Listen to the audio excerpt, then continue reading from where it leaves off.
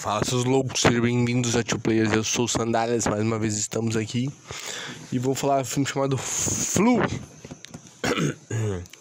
Flu, que que tem no Netflix e pra mim foi traduzido como gripe. A hora que ele fala, ele fala flu e bota um gripe. Eu acho que é por causa da vacina Team Flu do, do, da gripe aviária, eu acho uma coisa assim, pelo que eles retratam no filme, né? Então tudo começa quando um grupo de imigrantes tentando entrar é, de forma ilegal, né, em Budan, na Coreia, né, e acaba tendo um surto de uma, uma doença misteriosa dentro desse container morre todo mundo, só sobra um cara lá que chama Mumbai, Monsai, Mungai, os nomes é bem difícil lembrar todos, hein? E beleza.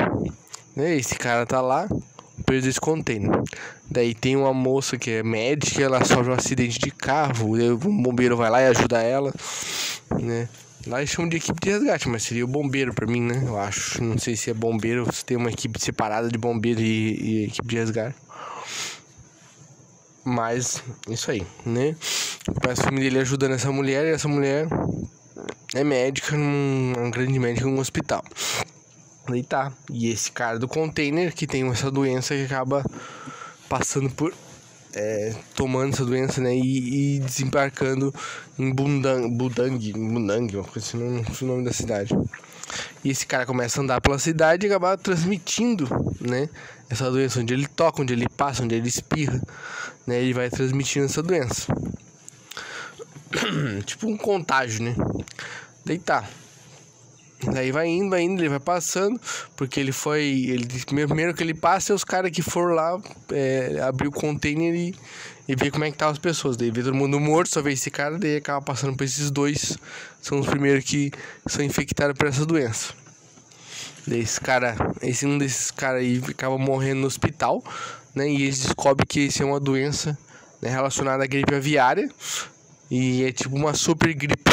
Né, super gripe aviária que tá acontecendo né, nesse coisa. Daí os governantes em si falam assim, não, isso aí a gente consegue combater, tem é, Team Flu que, que, que faz o remédio e tal, gente vai conseguir combater, então não precisa fechar a cidade, tem muito dinheiro investido, é uma, é uma capital grande perto, é uma cidade grande perto de Seul, então não precisa fechar nada, gente pode continuar normalmente para não também não alarmar também as pessoas e a vida continua, né, só com restrições. Daí beleza, né? E a vida vai continuando. Daí ficam meio os médicos falam, não, gente, a coisa. A gripe aviária matou muita gente, então é hora a gente agir agora, fechar a cidade para poder combater isso aí, segurar os enfermos, né? Tentar salvar eles e tal. Porque já cura ainda não tem e tal. Daí beleza. Daí vai para vai pro começa a receber um monte de casos e a cidade vai virando um caos. E o caos acaba se instaurando na cidade, eles meio que fazem uma lei marcial, uma lei marcial, marcial, eles fazem a lei marcial na cidade para tentar conter esse avanço da doença, né? Eles descobrem que tem esse moleque que estava dentro da, do container através do celular do cara que morreu primeiro. Né? Uns que tiveram contato com esse cara, moleque aí. E esse moleque do container acabou pegando a doença e, e criando anticorpos para combater a doença. Então, tipo, ele é a cura, a possível cura desse vírus. Daí, beleza. Eles ficam nessa loucura correndo atrás do. desse tal moleque, tentando achar ele de qualquer lugar, não consegue achar, né? Até que tem a menininha, que chama Rime, Rine, Remi, Remi, um nome estranho, né? Que ela acaba dando de, de encontro com ele. Né? Ela é filha da médica que foi resgatada pelo bombeiro. O bombeiro acaba criando um vínculo com a menininha, porque a menina acaba ligando para ele, conseguindo. ele vai lá e pega a bolsa da mãe dela e tal, e consegue.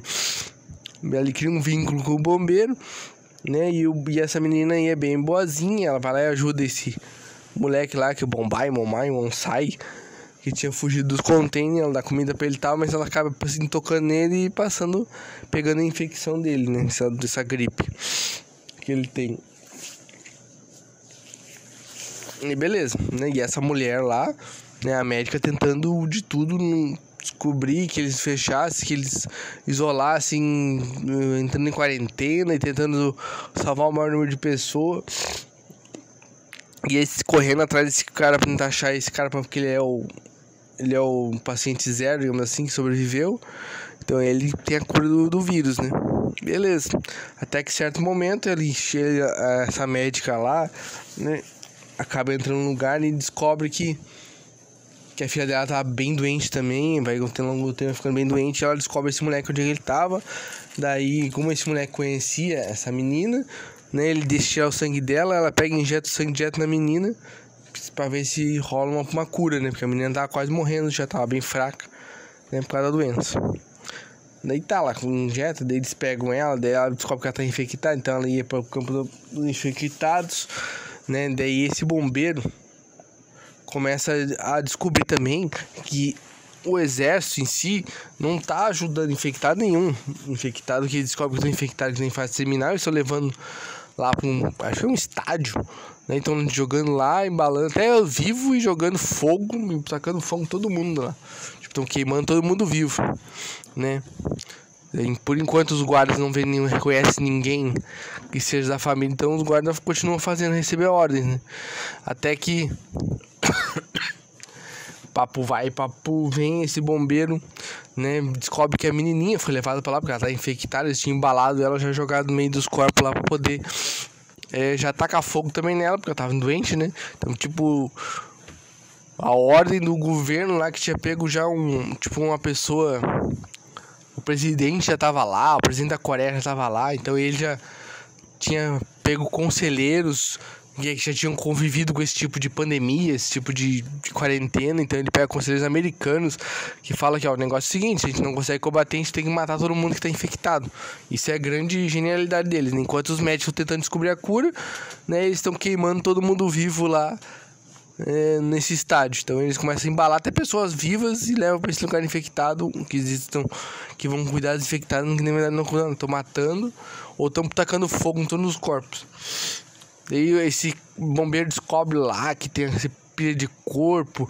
Ele vai atrás procurando essa menina que tá lá no meio do monte de corpo. Ele até consegue achar. Daí os guardas lá que estavam é, cuidando da cremação, nos lugares lá, vai atrás dele. Ele corre pra cá com essa menina, corre pra lá. Ele é pego pelo, pelos guardas. Nossa, maior loucura. E essa mulher, que é a mãe dela, tentando também achar ela, porque ela se perdeu no meio do caminho por ela estar infectada e ela não. Então ela vai atrás, vai para um lugar, vai para outro, não consegue achar essa menina. E daí eles, eles tinham um rádio que eles tinham deixado entre eles, né? Eles conseguem conversar e combinam aqui em algum lugar para ele poder se encontrar. Enquanto isso, o povo está se revoltando, né? Porque o, os militares acabaram baleando, né? Um, um civil, né? Porque um soldado lá viu a mãe dele que estava doente, estava indo pro pau dos infectados, que ele sabia que na verdade não ia perfeitar, não ia matar ela, né? E um dos soldados também foi tocado pelo por um dos infectados tinha se infectado também. Então, ele já sabia que ia morrer, ele tira a máscara, daí dois soldados se, se revoltam contra os outros militares, daí os militares acabam matando ele, um dos soldados, né?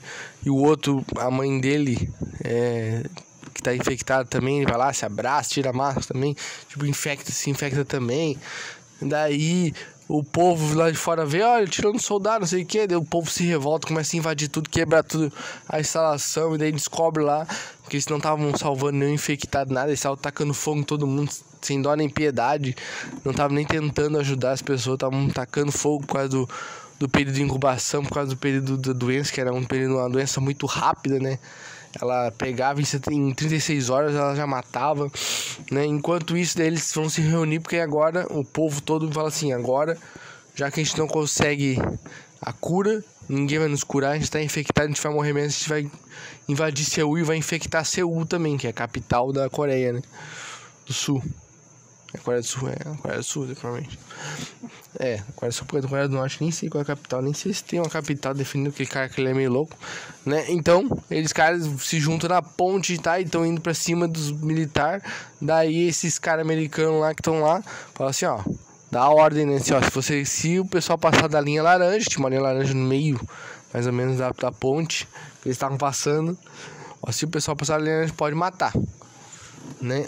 Daí aparece essa médica lá do lado de Seul falando assim, procurando a filha dela, porque daí ele conseguiu contato com o rádio, né? E a filha dela tava no meio da multidão. Daí a filha dela aparece lá na frente, sai correndo para ir em direção a ela.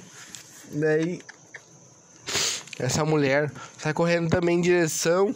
Daí os caras, mano, assim, abra fogo, né? Que era a criancinha tava indo e ia acabar passando pela a linha laranja. Daí beleza.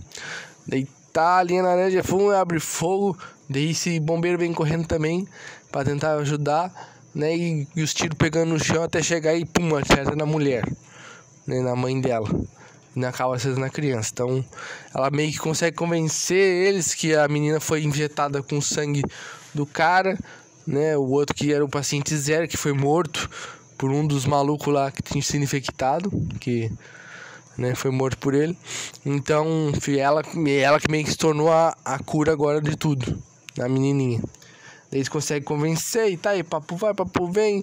E consegue convencer, daí aquela multidão corre lá pra frente e forma uma barreira humana para não deixar eles matar a criança, né? E eles meio que decidem não invadir mais Seul.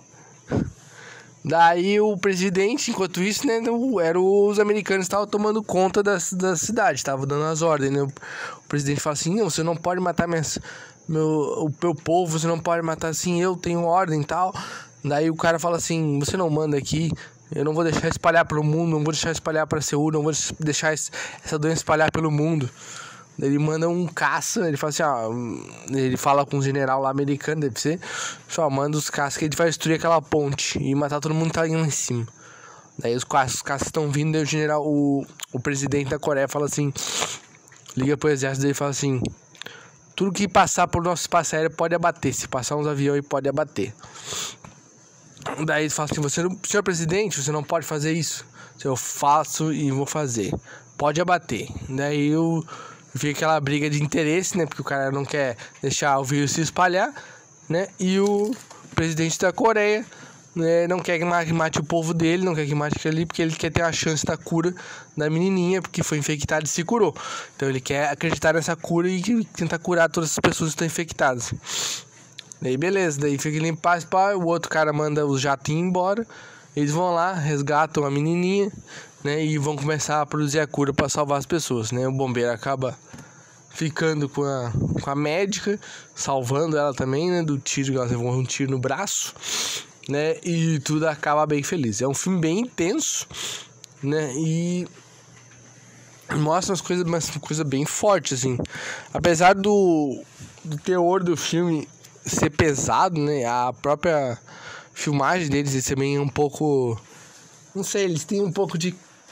de ser caricato, né? As formas, o jeito que eles falam, as conversas, os diálogos, então eles são um pouco caricato, né? Nessas conversas, nesse diálogo do filme. Né? Então.